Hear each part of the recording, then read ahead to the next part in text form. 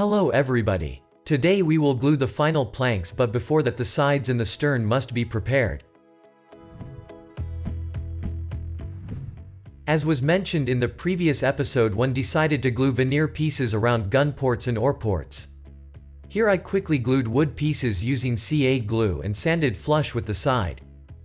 I will trim the insides later. All that is left is to drill holes for breeching ropes eye bolts. I will drill them diagonally using a hand drill using 0.6mm drill bit.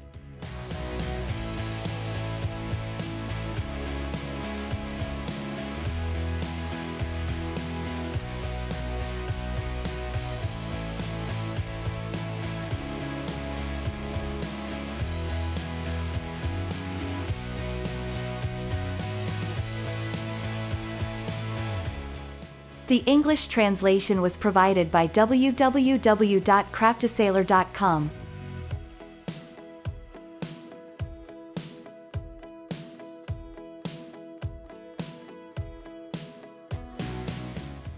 The board behind pin rails will also be reinforced the top timbers are not covering these areas completely. I will simply glue additional wood pieces there.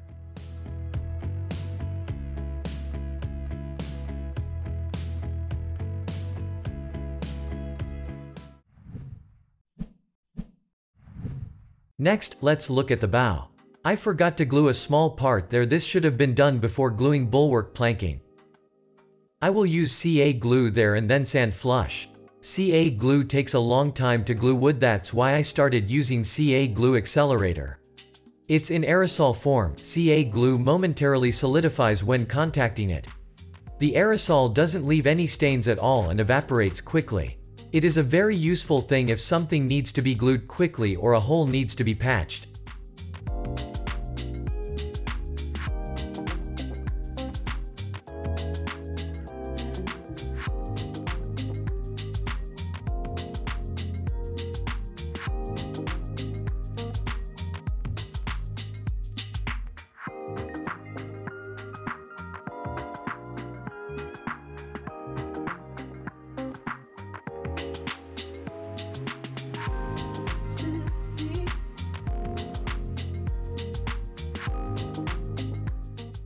Next hawse holes and a bowsprit hole must be drilled. It is very important to not chip the inner planking. That's why I only drill until the inner planking and then grind the hole using rotary tool. The bowsprit hole is made similarly but slightly smaller diameter than needed so it can be adjusted to bowsprit's diameter later.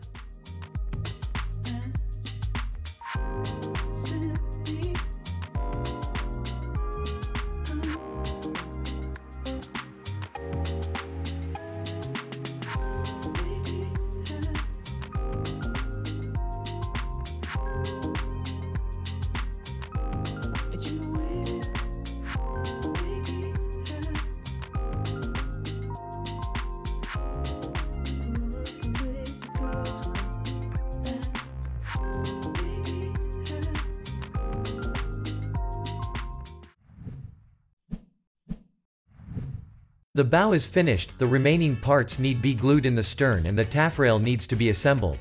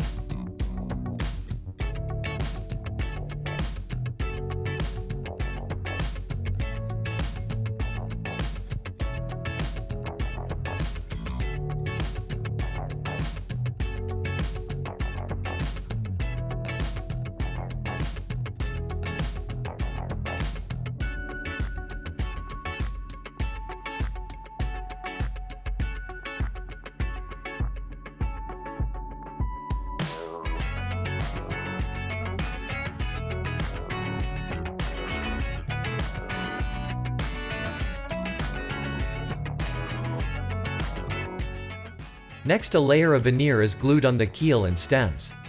This is needed to form a proper rabbet.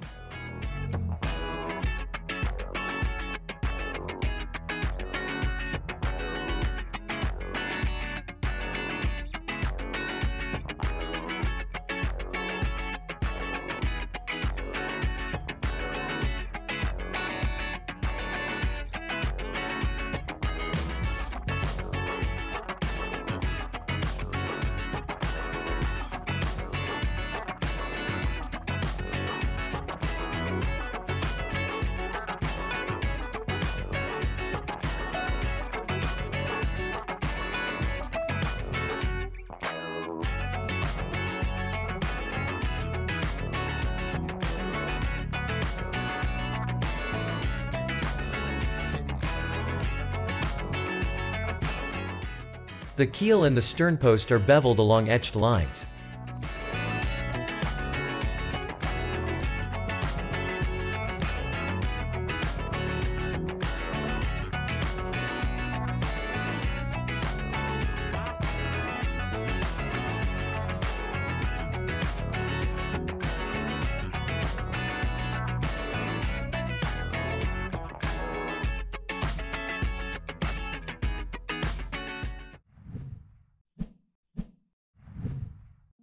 The taffrail assembly begins with gluing inner planking.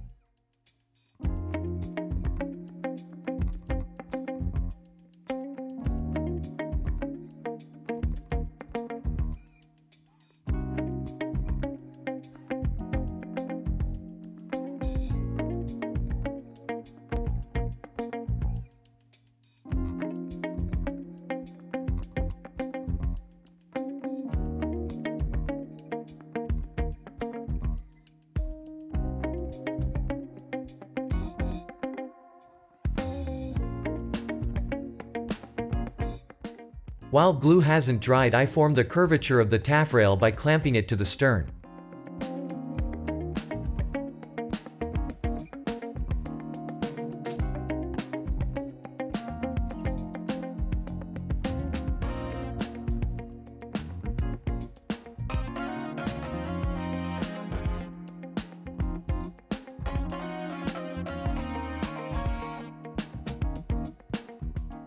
The aft counter plate must be slightly bent and beveled before gluing.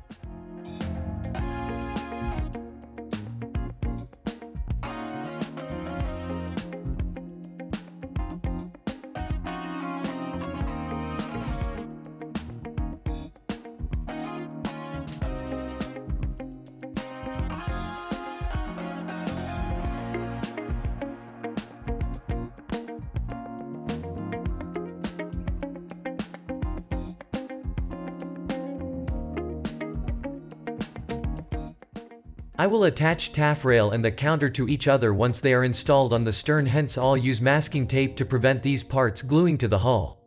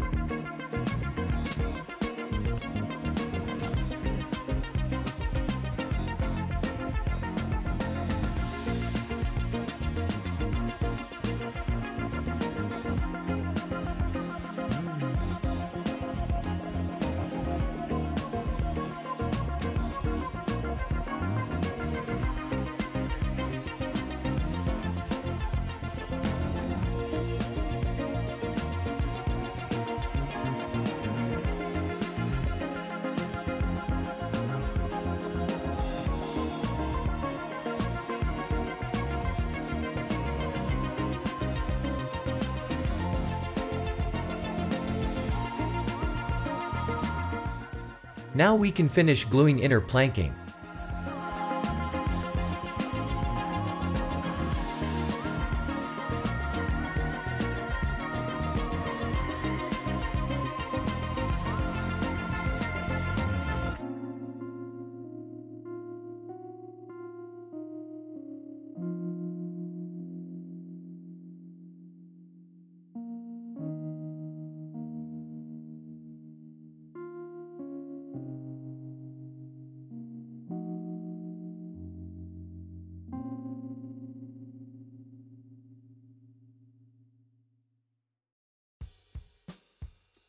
I align lower veneer layer with lower edge of the counter and the upper layer with the upper edge of the taffrail.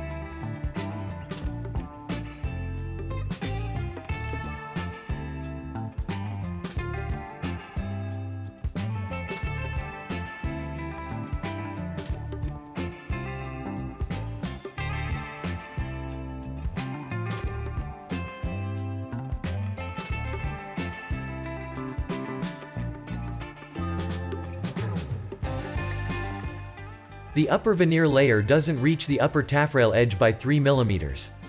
I will glue a small piece there made of same veneer.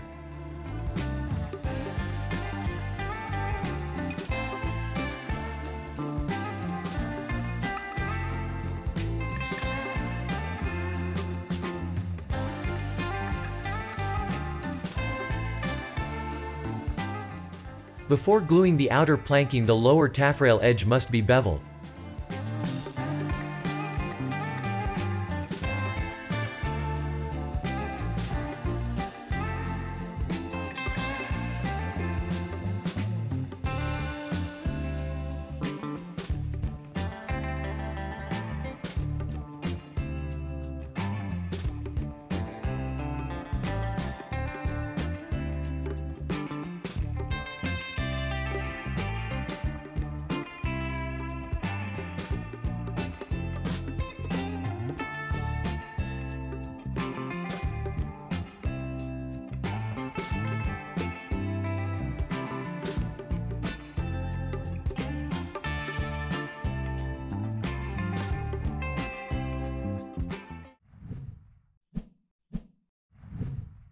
Next I will plank the stern.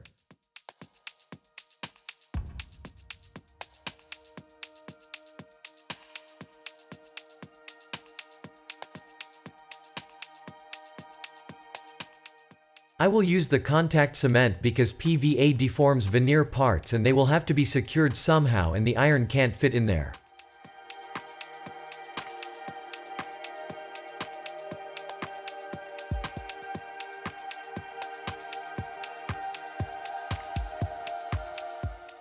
Contact cement is applied to both surfaces and then left for about 10 minutes to dry after that the parts are firmly pressed together.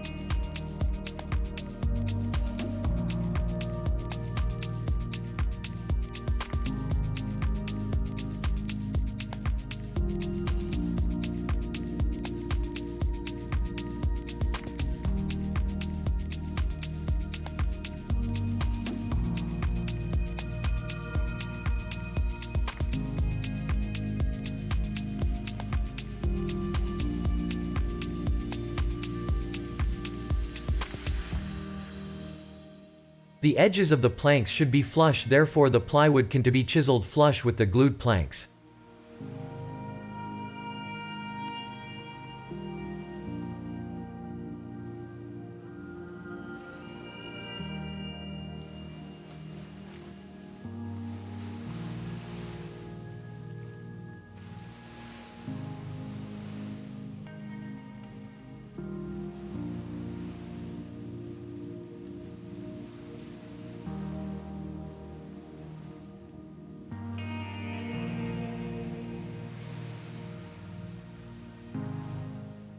The door hinges and handles will be glued later. The stern is finished the outer planking can be glued now. I align the upper strake with the gun ports and the upper edge of the bulwarks.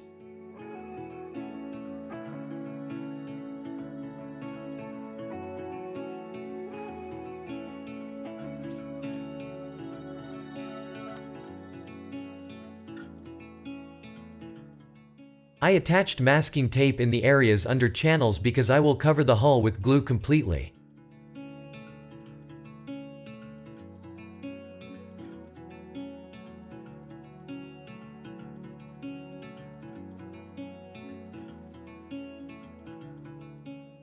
I will use hot iron to glue planks hence both the hull and the planks are covered with glue.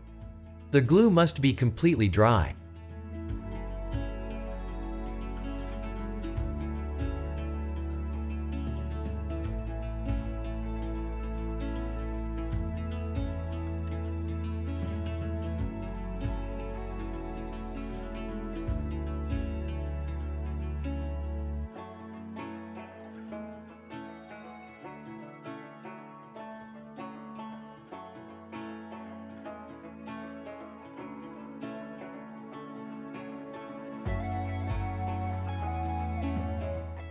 The glue on the planks must also dry so the planks glue faster.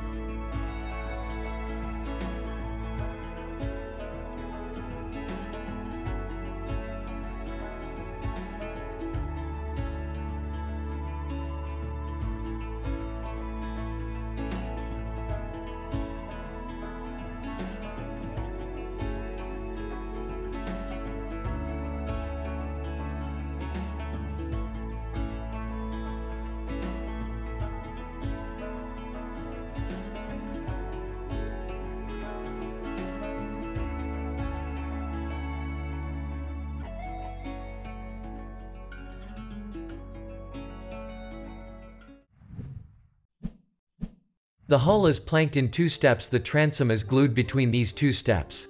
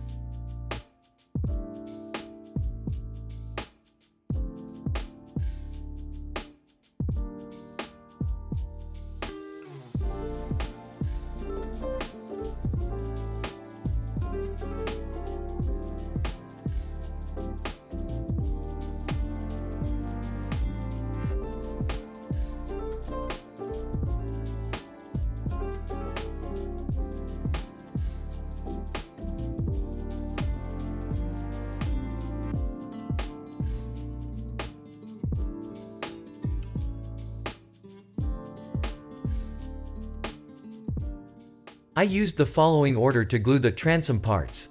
First, the top part then the central part and finally adjusted and glued the side parts. The central part turned out to be slightly thicker than needed it is preferable to adjust it before gluing.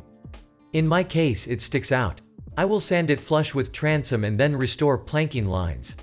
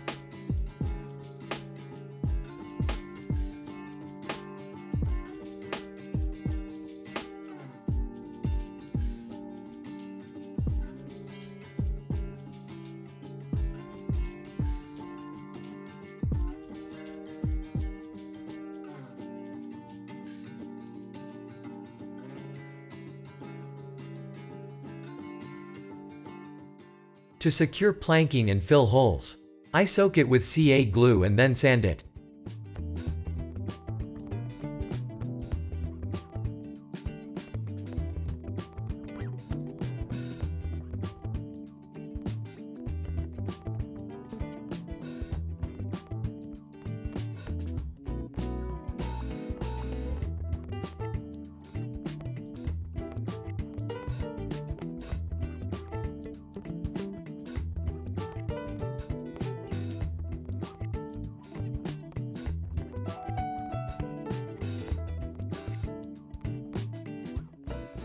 Bye everybody, and see you again.